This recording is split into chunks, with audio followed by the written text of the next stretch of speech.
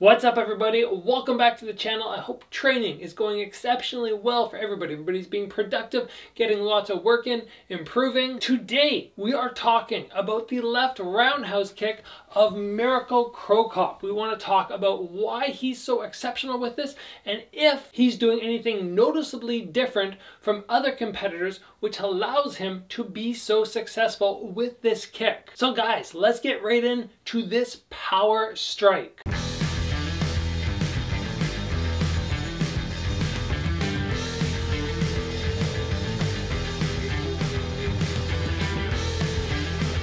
Known about Mirko Cro Cop from way back when he was competing in K1 and Pride, and he was always somebody I went, oh man, this guy is just somebody to look up to. His striking is just so beautiful. And I was fortunate enough to be on a Glory kickboxing card with him when I won my Glory contender title, which gave me the shot at the Glory title. He was actually the main event, I believe, on that card. So that was very cool to see him around, to see one of your idols. And I'm excited today to break down this left round kick because in all honesty, before right now, I hadn't really gone through and been, okay, what really makes this kick a little different than everybody else's? So guys, let's jump right into the first point of five. All right, guys, the first thing I want to talk about is the angle of his kick. Very often, especially if you are sort of a more traditional practitioner, you're taught to bring your leg up. When I say traditional, I mean karate, a karate practitioner. You're taught to bring your leg up and to bring it straight across, horizontal. Now that means that if the guy's hand is up here, it's very hard to get over top it. His hand has to be down here for you to get across. But when Mirko Cro Cop throws his kick,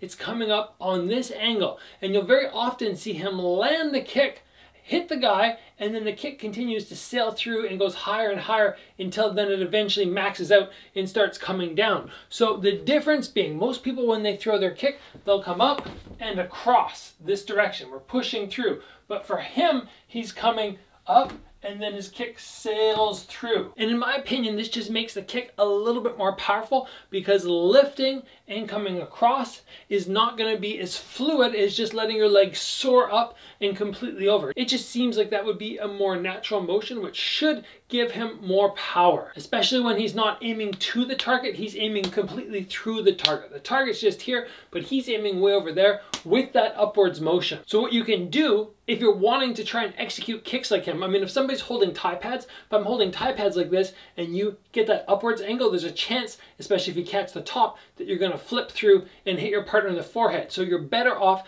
using a pad like this, where instead of them holding here, and your partner's head's behind you, just have them hold like this and then you can kick and follow through or you can get one of those karate kicking pads. Oh, they're called paddles, a kicking paddle. You can also use those, have somebody hold and then you can just practice coming right through on that different angle than you might be used to throwing with. Next up guys, number two, I want to talk about his aim where a lot of people aim for the jaw or they aim for the ear. It looks like he almost aims for the top of the head, and in my opinion, that makes it more likely to land, especially in MMA or with the bigger fighters, because they are notorious for keeping their hands a little bit lower. If you aim at the jaw, it's going to be very hard to get over that hand, but aiming up to the top of the head is going to make a world of difference for low arms, and especially with MMA gloves. You don't have to worry about catching a forearm. So when you guys are trying to target, or you're trying to note what Cro Cop does, be very aware it's not here, but he's coming up there, right up to the top of the head,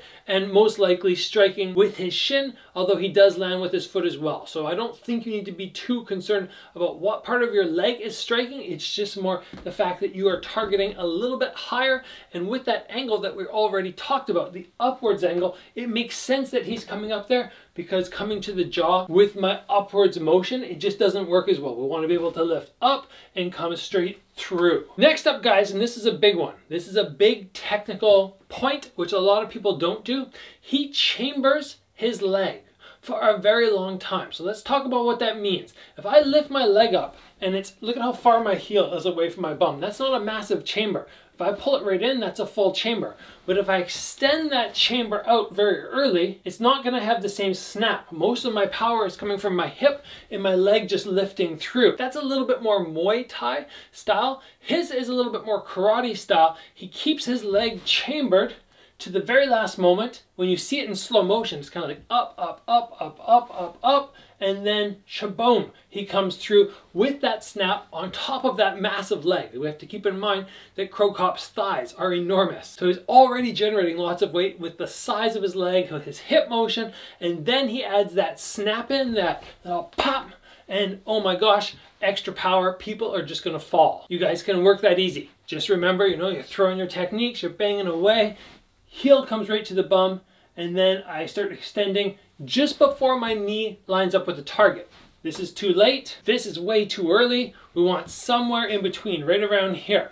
My whole leg's coming up and then I extend to maximize power. Next, and very interesting, because in my opinion, technically incorrect, we're looking at what he does with his arms. If I am in a southpaw stance, I would teach people that your hands are up here, if you're kicking with your left leg, your left arm whips down, of course, but the right arm should stay right to the head. But what Cro Cop does is his arm comes out very, very early. It eventually starts to pull back, but he throws it out to the side before the other one. So he ends up kind of in a splayed arm position where he has both his arms out. Now, there is a reason he can get away with this, and we'll address that in a moment. But one of the big things I just wanted to show you was that arm positioning is different. Tosses his arm back, this arm here comes back, and then he worries about the other arm after to gain a little bit more hip power, but this is something that a lot of people might not have noticed, they might not have tried, because very often, just like I said, I teach right to here. I teach to here because we're worried about that opposite round kick coming and knocking us out. But if we quickly move on to point number five, we're talking about what his head does. A lot of times when people throw kicks, head right above the foot you're standing on. That's what I would teach. That's what a lot of people do. But you can also get away with throwing your head backwards. And because he throws his head backwards when he kicks, he gets it to a safe distance where the arm positioning, which we already talked about, me throwing my arm down here, it doesn't matter that I'm not defending my face because I'm leaning back. And the leaning back is going to help him create that height that we already talked about when we're aiming up to the top of the head. And it might even help him gain a little bit more power because he can throw his hip forward with that extra force because his head is leaning back. These are interesting points. Not all of them make for a technically perfect kick, but he pulls it off. It works very well for him. And you guys can try and implement little things that I mentioned today into your own kick and see if they work for you. And these are all unique little things that are a little different. I mean, remember the pivot. That's always a super important thing. The foot you're standing on needs to turn. Cro Cop's turns, he goes 90 degrees. Somebody like Buakaw, if the toes are pointing towards the screen, he'll turn them away from the screen when he round kicks. Big twist to the toes, but Cro Cop goes 90 degrees, which is still opening up his hips a lot. Those are just basics which you guys should already be doing if you're doing a proper MMA, kickboxing, Muay Thai round kick. So there we have it guys. When I broke down Cro Cop's kicks, those are the five things that I noted. I hope something in this will help you in your training, help you improve. If you guys appreciate the content, appreciate the video, please give it a like if you haven't already. Join the channel and get subscribed. Help bump me up to 100,000 subscribers. That is going to come very soon. I can feel it. Everybody's showing me so much love. I really appreciate it. Guys, train hard, and I'll see you back here soon for another video.